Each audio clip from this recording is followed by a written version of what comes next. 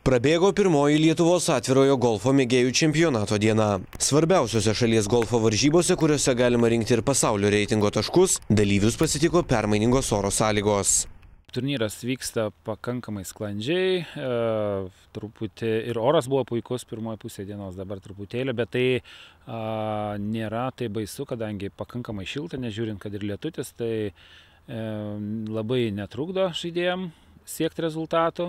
Keičiasi ypatingai ridenimo aikštelių savybės ir e, lėčiau rieda, o žaidėjai galbūt įpratę prie kitokio riedėjimo, e, jeigu yra koks nuolydis vėlgi, jis gali mažiau e, nukrypti nuo tos linijos, e, kurią nusitaikė žaidėjas, tai įtakos be abejo turi. Ir, a, iš teisėjo perspektyvos, aišku, matėm, baigėsi pirmoji diena, kai ką norisi koreguoti, aikštino žymėjimą truputėlį, kai kuriuose vietose gal šiokios tokios klaidelės yra, a, o taip viskas pakankamai gerai. Sužaidus pirmasis 18 dubučio turnyre tiek vyrų, tiek moterų įskaitose priekyje reikiuojasi svečiai iš užsienio.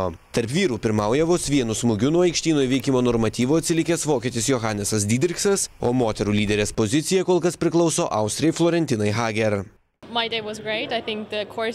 Mano diena buvo puikiai, manau, aikštynas yra puikios būklės. Viskas gerai organizuota, geriau nei kitose šalise. Diena man buvo puikiai. Koks buvo geriausias tavo smūgis šiandien, kuris labiausiai patiko tau pačiai? Manau, tai buvo trečias smūgis žaidžiant paskutinę duobutę, kai pataikiau prie pat vėliavėlės. Tai buvo puiku. Uh,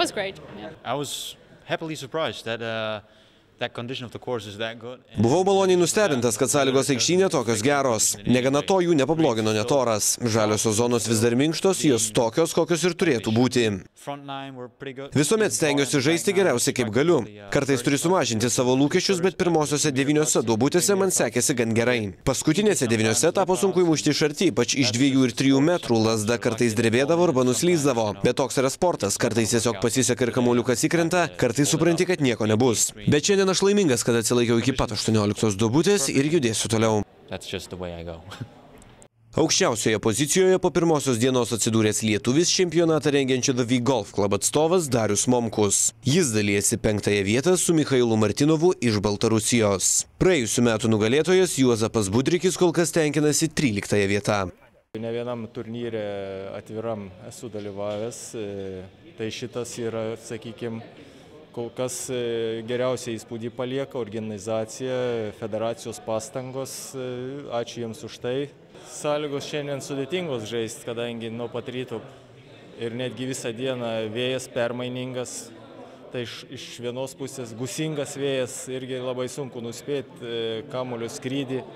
Nu, šiaip sudėtinga diena žaisti, todėl manau ir aš net nesitikėjau stovėti prieš kamerą su savo rezultatu, bet matyt visiems tai daro įtaką ir yra taip, kaip yra. Lietuvos atvirasis golfo mėgėjų čempionatas tęsiasi iki Liepos 10-osios. Jo eiga padedančių sekti reportažus ir laidą po turnyro žiūrėkite per Sport 1 televiziją.